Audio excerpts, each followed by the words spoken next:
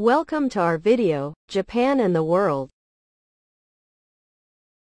The topic for this time is how Iran plans to destroy Israel. I would like to focus on the commentary in Critical Threats Project by Nicholas Carl and Brian Carter at American Enterprise Institute. AEI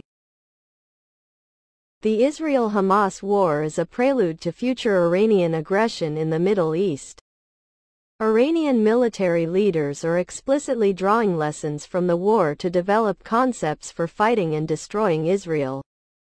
Senior Iranian officials are arguing that the war has revealed critical Israeli vulnerabilities that they can exploit. They are specifically examining ways to use proxy forces and terror to destabilize the Israeli state and Israeli society. Iran is sharpening these concepts because it is increasingly confident that its axis of resistance, the collection of Iranian-backed partners and proxies, including Hamas, across the region, is winning the current war against Israel and could fight and win a larger war too. Iran will not be able to fight a war at this scale for the foreseeable future, to be sure.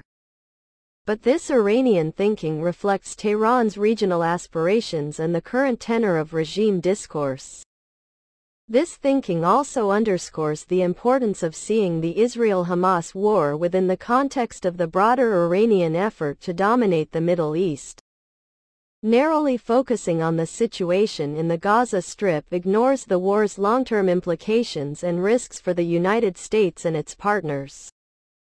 Senior Iranian military officials are developing concepts for destroying Israel without having to defeat the Israel Defense Forces IDF. Iran recognizes the technological superiority of the IDF and the risk that an overt war could draw in the United States, which Iranian leaders desire to avoid. Iranian strategists are thus exploring how to use proxy forces and terror to disrupt the Israeli political and social order without triggering a full-scale war between Iran and Israel. Their thinking proceeds from the theory that destabilizing Israel would cause Jewish citizens to flee Israel and end the long-term viability of a Jewish state in Israel. Senior Iranian officials have begun discussing these ideas with greater specificity than ever before, even though they are proceeding from flawed assumptions. That Iran is seriously considering concepts that it is unlikely to be able to execute for years it at all is unsurprising. Iran has a decades-old strategic culture of exploring and pursuing ambitious and ideological objectives that are not immediately feasible. Surprise ground attacks into Israel is becoming a central idea in Iranian military leaders' thinking. Iran is probably basing these ideas on plans that Hamas and Lebanese Hezbollah developed in the early 2010s for ground incursions into Israel and refining them based on Hamas' October 7, 2023, attack. The commander of the Islamic Revolutionary Guards Corps, IRGC, Major General Hossein Salami, presented his own version of this idea for the first time publicly in an interview with the official website of the Office of the Iranian Supreme Leader in August 2022. Salami articulated a blueprint involving Lebanese Hezbollah and Iranian-backed Palestinian militias launching protracted ground campaigns from multiple fronts into Israel. Salami explained that these ground forces are necessary to liberate territory and could advance through Israel gradually. Salami reasoned that such pressure would disrupt the Israeli political and social order and generate widespread civilian displacement, without needing to deal a decisive blow to the IDF. Salami did not explain why he thought that these forces could hold their ground against IDF counterattacks or why Israel would not escalate to major attacks into Lebanon, the Gaza Strip, and the West Bank or even against Iran itself.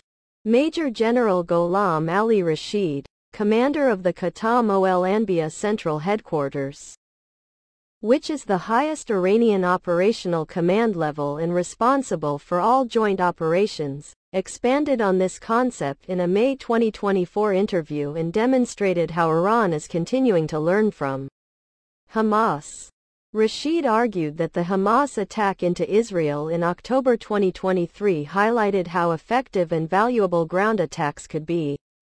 Hamas attack demonstrated, Rashid said, that the axis of resistance could destroy the Israeli state by launching surprise attacks from Lebanon, the Gaza Strip, and the West Bank simultaneously, echoing Salami's comments. Rashid stated that such an attack would need 10,000 fighters from Lebanon, 10,000 fighters from the Gaza Strip, and 2,000 to 3,000 from the West Bank. Rashid's interview is particularly noteworthy given his importance in Iranian military decision-making and planning as Khatam al-Anbiya Central Headquarters commander. Another key concept that Iran is developing involves attacking Israeli commercial interests to disrupt the Israeli economy. Iran and its axis of resistance have tried to impose an unofficial economic blockade on Israel throughout the war to coerce Israel into accepting defeat in the Gaza Strip. Iranian Supreme Leader Ali Khamenei first called for this blockade in November 2023 when he said that the paths of oil and food exports to the Zionist regime should be closed. The axis of resistance has since then attacked and threatened Israeli infrastructure and international trade. The most obvious example of this line of effort is the Houthis' attacks on international shipping around the Gulf of Aden and Red Sea. Houthi analysts have compared their attacks to the Egyptian blockade of the Bab al-Mandeb Strait against Israel during the Yom Kippur War in 1973. Houthi attacks have caused international shipping prices to increase and severely reduced commercial activity at the Israeli port of Eilat. Israel has tried to compensate for this reduced activity by increasing overland trade through Jordan to the Persian Gulf. The axis of resistance began focusing on disrupting these overland routes in April 2024. An Iranian-backed militia threatened at the time that it would create and arm a proxy militia in Jordan to cut Israeli access to the Gulf states. Iranian-backed militias in Iraq and Bahrain began claiming drone strikes targeting businesses and sites connected to Israeli overland trade in the following days and weeks. Senior Iranian officials began threatening the Gulf states, especially the United Arab Emirates, as well for doing business with Israel. Iranian leaders have expressed a desire in recent months to extend their military reach to the Mediterranean Sea likely to complement their attempted blockade of Israel.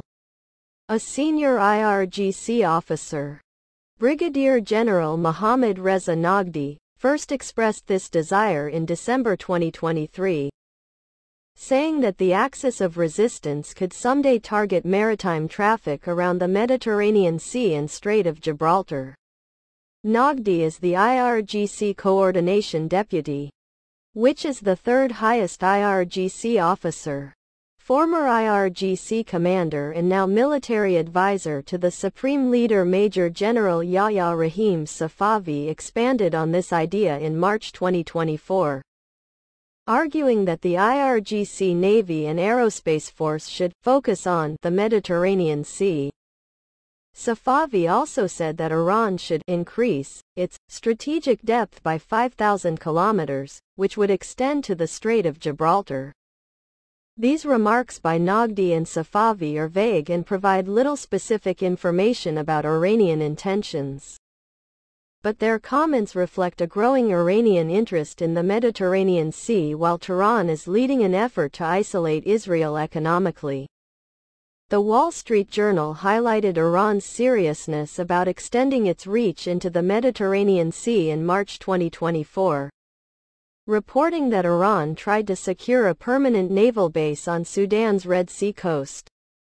The request, which Sudan rejected, demonstrates an Iranian desire to project force further westward likely in part to support attacks targeting international shipping around Israel.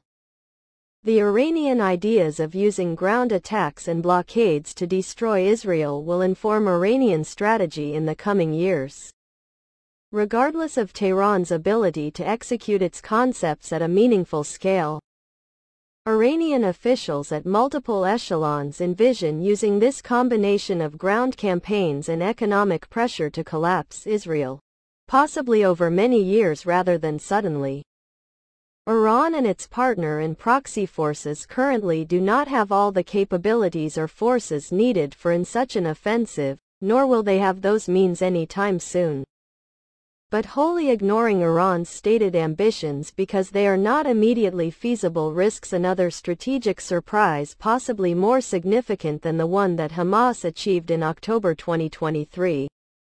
Iran's new concepts will shape how Tehran expands and strengthens its axis of resistance throughout the Middle East and beyond. This effort will probably involve Iran trying to further entrench itself militarily around the Israeli periphery in Jordan, Lebanon, and Syria as well as the Gaza Strip and West Bank while giving Iranian partners and proxies more advanced drone and missile systems to threaten Israeli commercial interests. Iran could also further explore ways to project force into the Mediterranean Sea through Africa. Iran has tried in recent months to expand nascent security partnerships with several African countries, such as Niger and Sudan, both of which could facilitate Iranian access to the Mediterranean Sea by agreeing to host Iranian troops and or weapons. Iranian attack drones based in northern Niger, for example, could range the entire western Mediterranean Sea if Niger agreed to host them. The concepts that Iran is developing present serious challenges not just to Israel but also to the United States. This new Iranian thinking, on one hand, reflects a bolder Tehran that is increasingly aggressive and prepared to confront its principal adversaries in the region, the United States and Israel. This thinking, on the other hand, involves strengthening the axis of resistance, which will worsen the threat that Iran and its partner in proxy forces already pose to U.S. interests in the Middle East. Senior Iranian officials remain just as committed to expelling American influence from the region as they are to destroying Israel. Tehran will inevitably turn its attention and resources back to the United States at some point even though Iranian strategists appear focused primarily on Israel for the moment. The United States must be prepared to meet this increasingly complex Iranian challenge. Doing so should involve working proactively to counter Iran's ambitions across the Middle East and beyond before Iran instigates future crises. Ignoring this challenge or viewing it only through the prism of the current war will cede the initiative to Iran and its axis of resistance. That's all. How Iran plans to destroy Israel. Commentary in Critical Threats Project by Nicholas Carl and Brian Carter at American Enterprise Institute, AEI.